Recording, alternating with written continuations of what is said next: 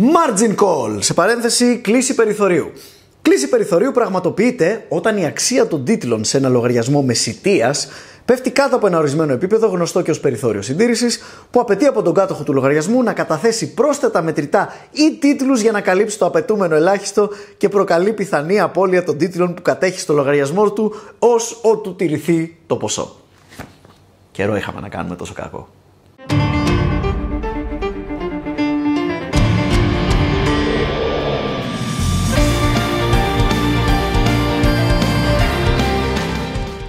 Για να καταλάβουμε τι είναι το margin call, πρέπει πρώτα να εξηγήσουμε τι είναι το margin, δηλαδή τι είναι το περιθώριο. Okay?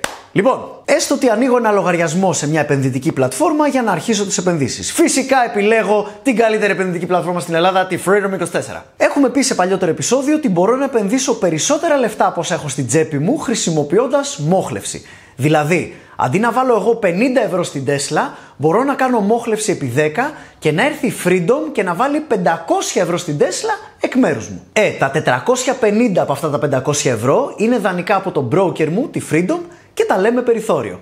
Αν αντίστοιχα είχα βάλει μόχλευση επί 30 και έπαιζα με 1500 ευρώ, το περιθώριο θα ήταν 1450 ευρώ. Κομπλέ! Τώρα, ως γνωστόν, η μόχλευση, το leverage, είναι λίγο δίκοπο μαχαίρι. Όταν επενδύω περισσότερα λεφτά από όσα έχω, αυξάνω τα πιθανά κέρδη, αλλά φυσικά ταυτόχρονα αυξάνω και τις πιθανές απώλειες. Απώλειες που θα πονέσουν εμένα, αλλά πάνω απ' όλα θα πονέσουν τον broker, γιατί αυτός έχει συνεισφέρει τα περισσότερα λεφτά στο συγκεκριμένο ρίσκο. Κοινώς, αν χάσω, αυτός θα φάει το φέση. Οπότε έχει συνέχεια το νου του. Όταν λοιπόν με βλέπει να δαγκώνω μεγάλη μπουκιά που κατά πάσα πιθανότητα δεν θα μπορέσω να μασίσω, όταν δηλαδή με βλέπει να ανοίγω μεγάλες και παράλογες θέσεις, επεμβαίνει. Μπαίνει μέσα χειροκίνητα και μου κλειδώνει αυτές τις θέσεις ή ακόμα και ολόκληρο το account. Πραγματοποιεί δηλαδή το λεγόμενο margin call. Η απάντηση από πλευράς μου τώρα σε ένα margin call είναι να καλύψω αυτό το περιθώριο, ούτως ώστε ο broker να έχει και πάλι το κεφάλι του ήσυχο. Εντάξει, τι να κάνει ο άνθρωπος, δανείζει, δανείζει, αλλά από ένα ρίσκο και πάνω πρέπει ρε φίλε να του δείξεις ότι τα έχεις. Οπότε στο προηγούμενο παράδειγμα, ας πούμε, που έβαλα δεκάρα μόχλευση και έκανα τα 50 ευρώ 500, αυτή η διαφορά είναι 450 ευρώ και ονομάζεται περιθώριο μόχλευσης. Μπορώ να την ξεχρεώσω είτε ρευστοποιώντας άλλες επενδύσεις που έχω στην πλατφόρμα ή απλά βάζοντας έξτρα καινούρια 450 ευρώ στο wallet μου. Αν δεν καταφέρω να φτάσω αυτό το περιθώριο συντήρησης, τότε ο broker έχει το δικαίωμα να μπει μέσα και να πάρει μόνος του χρήματα από διάφορες επενδύσεις μου χωρίς την άδειά μου.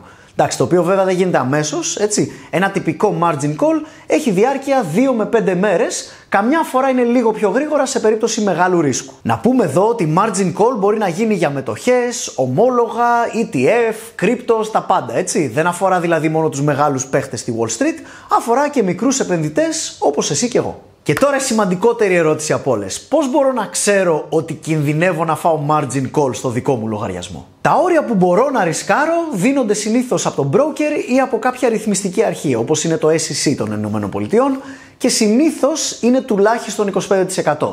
Που σημαίνει τι, ότι δεν μπορώ να ανοίξω μια θέση και να επενδύσω σε αυτή πάνω από το 25% των χρημάτων που έχω στο account μου. Κάποιοι άλλοι brokers λειτουργούν ανάποδα, δηλαδή απαιτούν να έχεις δεσμευμένο ένα 30 με 40% του λογαριασμού σου στην άκρη σε περίπτωση που χρειαστεί να γίνει κάποιο margin call στο μέλλον. Οπότε, αν δεν θέλω να φάω margin call, καλό είναι να επενδύω συντηρητικά. Και αν όντως έχω κάποιο καλό λόγο να ρισκάρω μεγάλο ποσό, καλό είναι να το βάλω όλο από την τσέπη μου, δηλαδή να επιλέξω μόχλευση επί ένα. Επίσης καλό είναι να έχω το νου μου στο wallet και να ξέρω πάντα πόσο κοντά είναι στο περιθώριο συντήρησης. Πάμε τώρα σε ένα παράδειγμα. Ο Ηρακλής έχει ένα account με 10.000 ευρώ και θέλει να επενδύσει σε μετοχές. Ο broker λέει ότι θα του παρέχει μετοχές με μόχλευση μέχρι και επί 5.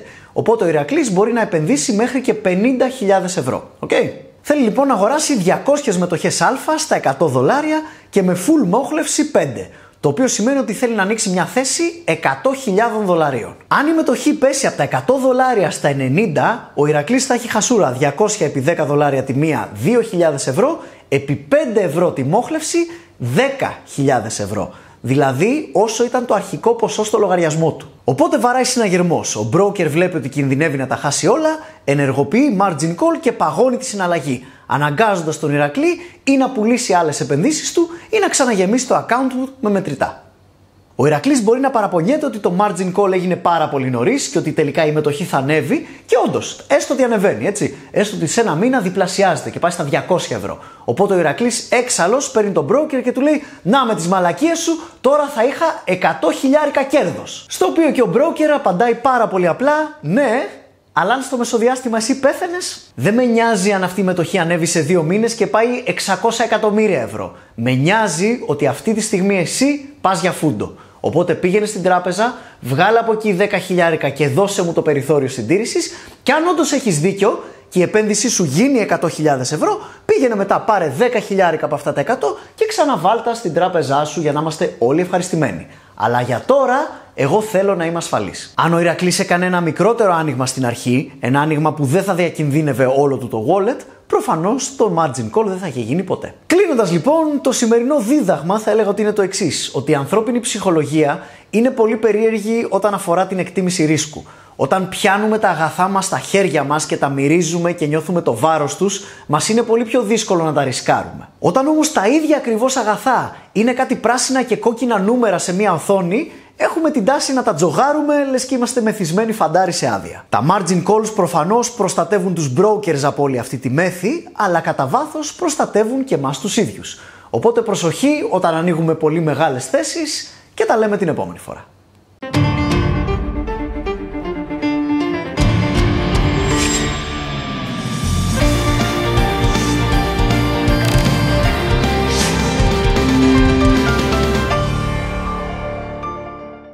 Disclaimer, το παρόν βίντεο δεν αποτελεί επενδυτική πρόταση, αλλά θα μπορούσε κάλλιστα. Έχετε δει το κλασικό disclaimer που όλοι οι οικονομικοί YouTubers είναι σε φάση Μιλείτε με ένα πιστοποιημένο επενδυτικό σύμβουλο. Guess what? Η Freedom 24 είναι πιστοποιημένος επενδυτικός σύμβουλος. Το οποίο σημαίνει ότι όλο αυτό το disclaimer τσάμπα το κάναμε, δεν έχει σημασία, το κάνουμε για το flex. Αυτό, τέλος βίντεο. Γεια σας.